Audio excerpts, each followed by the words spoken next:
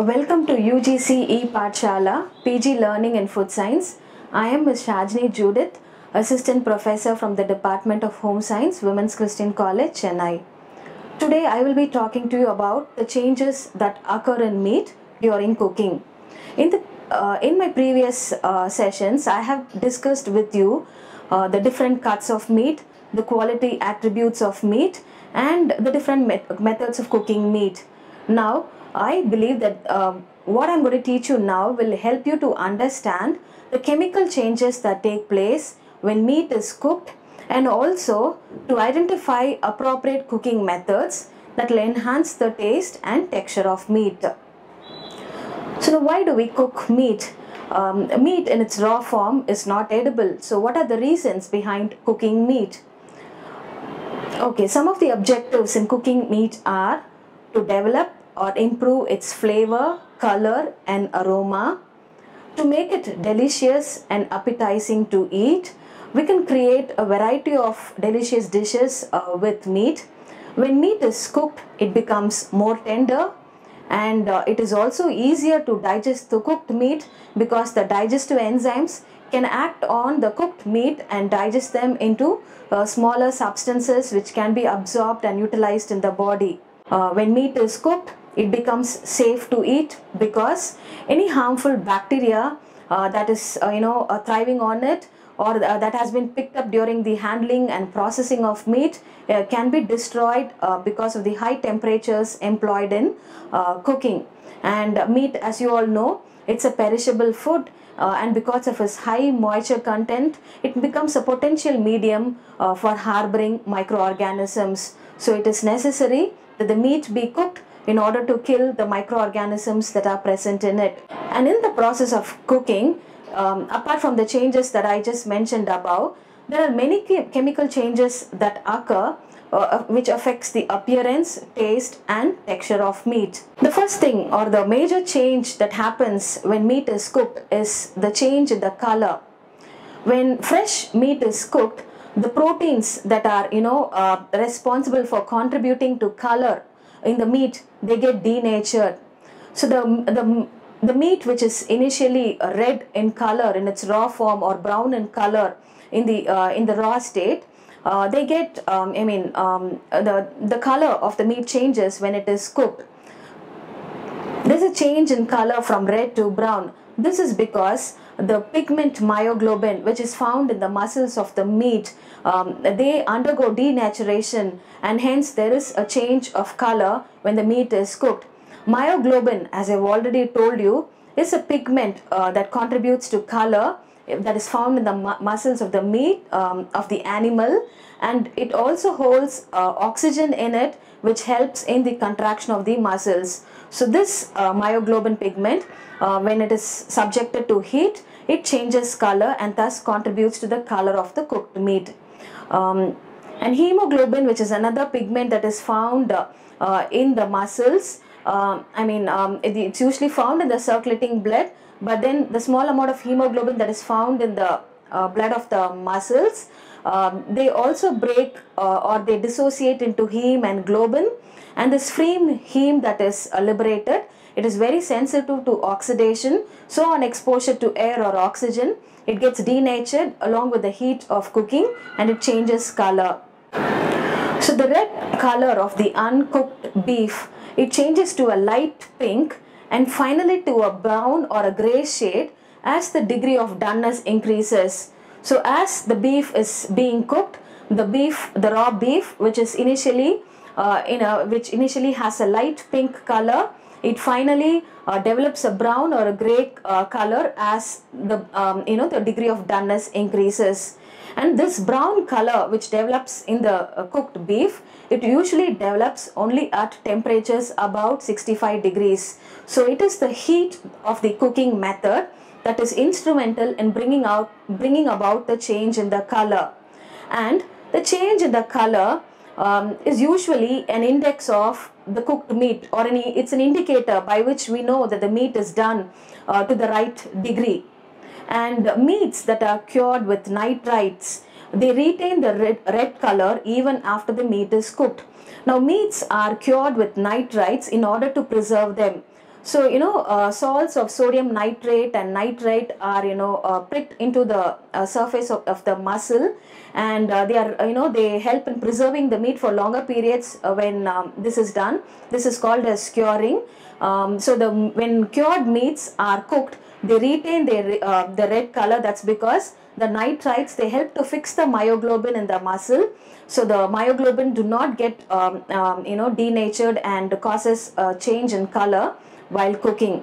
So when you look at this diagram, you will be able to see the color of the raw meat and the cooked meat. So the meat which is initially red in color changes to uh, brown um, um, um, after the protein uh, pigment uh, myoglobin is denatured.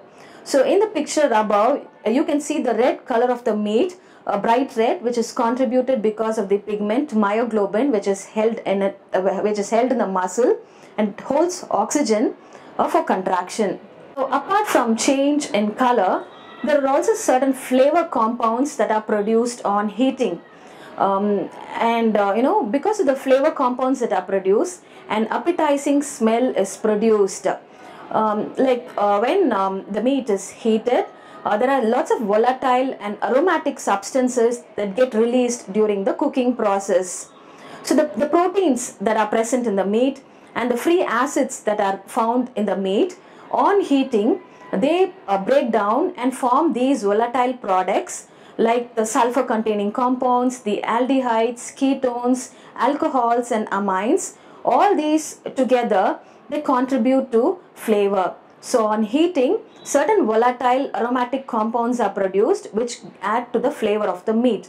So we've looked at the uh, texture, we have looked at the color and the flavor of the meat which gets um, you know um, improved on cooking um, with um, I mean during cooking. Now let's see what happens to the texture of the meat. The texture of the meat it becomes firmer. That is because the proteins in the muscle fibers they start coagulating above temperatures of 50 degrees itself. So when, when the cooking process is initiated, the proteins that are found in large numbers in the muscle fibers they begin to coagulate. When this coagulation happens, the texture becomes firmer and as the heating pr procedure or the process is continued, uh, the muscle pro uh, proteins in addition to coagulating, they also shrink and when they shrink, they squeeze out the water. So the longer the meat is cooked, more water is forced out as the protein molecules shrink. So it has to be, so we have to take uh, uh, care that the meat is not you know overcooked or that we do not subject it to prolonged cooking because when this happens when prolonged cooking or overcooking happens it results in meat that has lost so much of moisture or water from it that it becomes very dry and tough to eat so we've seen about the change in color the flavor and texture that happens during the cooking of meat so apart from these three major changes there are also a lot of juices that are lost when meat is cooked. The uh, juices uh, that um, you know can are they are lost as drip uh, while you know the meat is uh, cooked and the, some of them are also lost during the evaporation. Um, um, okay, now what happens when uh, the, the meat is actually losing its juiciness because uh, of the shrinkage that's happening in the protein proteins that are found in the muscles so when when the juices are lost from the meat during cooking, as a result of the shrinkage of the proteins, it can affect the final uh, cooked weight or the final portion yield. And uh, as I already told you, the uh, the you know um, the meat juices uh, they they get squeezed out uh, from the collagen or from the protein as they start contracting at uh, temperatures of um, 60 degrees and above and um, uh, so this affects the final cooked volume of the meat. Now the juices that are lost uh, while cooking the meat, they contain you know uh, valuable um, or important um, so minerals and proteins in them. They also have uh, you know vitamins the water soluble vitamins and other meat extractives which are responsible for flavor. So all the, this loss of you know uh, juices from the meat causes the meat to shrink and also lose its weight. So about 30%, uh, there is about 30% of decrease in the initial volume and weight um, you know of the meat because of the losses of these juices and these losses can vary with the method of cooking. In the moist heat methods of cooking uh, i've already told you what moist heat methods are. They are methods where water or steam is used as a medium of cooking. So in the case of moist heat methods of cooking the meat juices they pass into the cooking liquid and they are usually eaten along with the meat as a gravy so and because uh, you know uh, the meat juices contain important uh, nutrients in them the water soluble vitamins and other minerals um, we, we should um, ensure that we are not we that we do not uh, drain the liquid in which the meat is cooked. We can eat it uh, as a gravy along with the meat or it can be used for making a soup or a stock later on. Um, if dry methods of cooking are employed, dry methods are methods where air or oil is used as a medium of cooking. If dry methods are employed, then the, uh, the juices that are present in the meat, they evaporate and when they evaporate, they leave a brown savory coating on the outside of the meat and thus they give the meat a characteristic flavor. They give a roasted appearance to the uh, meat. So uh, the commonly used dry heat methods are roasting, grilling and uh, frying. Um, so you know um, uh, uh usually um, the the brown coat or the brown surface uh, the browning happens on the surface of the meat uh, only when um, the meat is cooked by dry heat methods. Okay. In addition to all these changes that we have been discussing about, um, when meat is cooked, the fat also melts because of the heat. So and uh, the fat that melts also uh, contributes to browning on the surface of the meat and also gives flavor to the cooked meat. So heat is responsible for causing the fat to melt and uh, as I already told you when fat melts there is a slight browning on the surface of the meat it adds to the flavor and the more you brown it the more the flavor is developed. So the fat um, melts in the dry heat uh, when the when the fat melts when meat is cooked by the dry heat methods and it helps to keep the lean meat moist by reducing the moisture loss. So the fat that is present in the meat uh, is you know in one way responsible for keeping the lean mo meat moist even when it is cooked by uh, dry heat methods and even when the, when it's losing a lot of moisture. Uh, so some of the fat you know uh, can run out and lead to weight loss in the final cooked volume and uh, the fat that runs out can be collected as drippings. Now searing also develops flavor in the meat. Now searing is uh, you know just uh, uh um, uh, toasting uh, or roasting the um, the meat on a heated pan or a heated surface until it develops a brown um, um a brown until it becomes brown on the outer layers. Usually the lean surface of meat is browned at a fairly high temperature and um, and when it, it develops a, good flavor and a good uh, color uh, when the meat is seared because you know the the nutrients are caramelized the sugar especially that is that are present in the muscles they get caramelized and um, give a brown color to the cooked meat.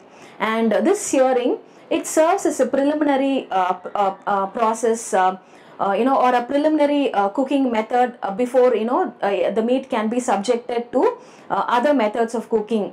So searing helps in preparing tasty meat dishes okay so when the meat is cooked it also becomes tender and palatable um, so at um, we um, I mean meat is always uh, you know cooked at um, um, you know high temperatures in the dry heat methods and it is maintained at um, the boiling point uh, in the moist heat methods. So at temperatures of 80 to 100 degrees the collagen becomes soft and it is converted to gelatin which is soluble and this makes the connective tissue fibers soft. And uh, when the connective tissues disintegrate it becomes easier for the digestive enzymes to act on it. So when we eat the meat it becomes uh, easily digestible. And uh, you know the nutrients from the meat can be easily absorbed. And uh, the meat uh, and um, uh, when the collagen breaks down the connective tissues disintegrate. And this adds to the tenderness of the meat.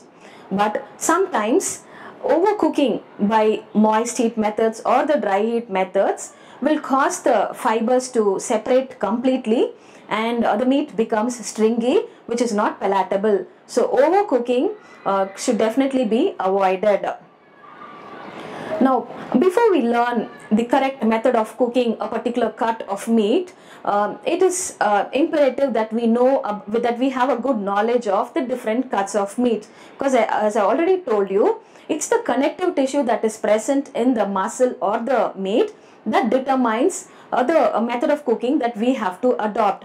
Uh, cuts with only a small amount of connective tissue they can be easily made tender by adopting the dry heat methods like roasting, grilling and frying because you know uh, they contain um, the meat itself by itself has enough water and when uh, I mean and uh, when the meat is cooked it it's it's able to make the collagen soft but if large amounts of connective tissue are present and uh, you know and if the uh, cuts uh, if the cut of meat is uh, you know not tender uh, but very mature uh, then it takes a long time to cook it. And the best way of cooking the less tender cuts of meat are by the moist heat methods. Okay. And it is also important that we tenderize the meat before it is cooked so this helps in you know making the dish uh, sorry the dish taste uh, better after it is cooked okay now the best way to ensure that the meat we cook is tender uh, is to choose a cut that is known to be tender um, from a reliable source. So the first thing that we have to ensure is that we are buying that um, we have to get um, a tender cut of meat from the butcher. Now we can also select quality mark meat from the butcher or from the uh, supermarket. Then we can be guaranteed or assured that the meat that we have bought is lean, it's tender and safe to eat. But then what happens sometimes is when the meat is passing through the rigor mortis or the post-mortem changes, um, you know, the meat gets toughened and uh, they can never be made edibly tender. So uh, when, you know, if the meat has been rendered, uh, you know, tough because of the post-mortem changes, then they can be tenderized by, you know, adopting certain procedures we will look um, at you know the ways of the different ways of tenderizing meat that has been you know made uh, uh, tough because of the um, rigor mortis or the post-mortem changes. Okay, now chemical tenderize, uh, tenderization or chemical tenderizing is one way of, you know, breaking down the connective tissues that are present in the muscles. So the uh, some uh, chemicals, chemical salts, they help um, even the uh, common salt. Um, you know, when the meat is soaked in the um, um, common salt, it helps to break down the collagen to gelatin. Uh, and this gelatin is soluble in water and so it becomes you know the meat becomes tender. And the muscle fibers they get separated more quickly when the meat is cooked now the meat also can be you know tenderized by soaking them uh, no by soaking it in uh, some types of acids like for example lime juice uh, you know or orange juice or wine or wine vinegar which has you know uh, citric acid in them they help to tenderize meat so the meat uh, can be soaked in this marinade, you know, which is made up of lime juice or vinegar or orange juice. Uh, it can be soaked for several hours or for, you know, a shorter period of time. Now, when we use a marinade like this, uh, you know, it has a better effect on the thinner cuts of meat. And um, and um, the marinades, the acid in the marinade, especially the citric acid or the ascorbic acid, they also, you know, increase the rate at which collagen, uh, collagen gets converted to gelatin. Now there are certain enzymes which also help in tenderizing meat. Uh, some raw fruits, you know, like the papaya, the the pineapple and the figs, they contain, uh, you know, naturally uh, natural protein splitting enzymes in them. Uh, they are also called as the cathepsins or the proteolytic enzymes. Uh, they act on the raw meat and help to tenderize it. Um, um, I mean, the the raw papaya contains an enzyme called as papain. They help in breaking down, um, you know, the connective tissue fibers and they soften the muscle tissue. And then, um, you know, it, it is, uh, we can also cook, you know, meat uh, um, with small pieces of uh, raw papaya at home in order to tenderize it. Uh, and then the papain in the papaya, raw papaya, it is a very good tenderizer. So this can be tried out uh, when we cook meat dishes at home. Apart from these natural um, tenderizers, uh, there is also commercially available meat tenderizers which contain these proteolytic enzymes in them and they help to break down the proteins of the connective tissue. Um, it is usually um, um, um believe that you know in commercial slaughterhouses um, uh, you know i mean in slaughterhouses commercially prepared papain is sprinkled on the surface of the meat after the animal is slaughtered uh, and and before the uh, before the meat can be cooked or sometimes they are even injected into the veins of the animal before it is slaughtered. Uh, apart from the use of enzymes as uh, meat tenderizers, there are also other mechanical ways by which meat can be tenderized. Now we have the blade or the mechanical tenderizers. Um, they help to cut the long muscle fibers into small fragments. So it, you know uh, this way in one way it uh, breaks down the or disintegrates the um, connective tissue and also makes the meat easier. It also makes uh, you know easy it becomes easy for us to chew the meat and eat it and um, for the digestion to happen uh, quite uh, easily. Mincing chopping or grinding is also another way of uh, tenderizing the meat. Here the meat is put through a chopper. It's usually the less tender cut um, cuts of meat that are minced or chopped or ground so the meat is put through a chopper or a mincer or a grinding machine and this completely breaks down the connective tissue and the muscle tissue into small pieces. So when meat is you know minced or chopped into very small pieces, it uh, becomes easier for the meat to absorb the flavor of the spices and uh, the meat that is cooked um, you know in the minced form or the or the ground form is very soft.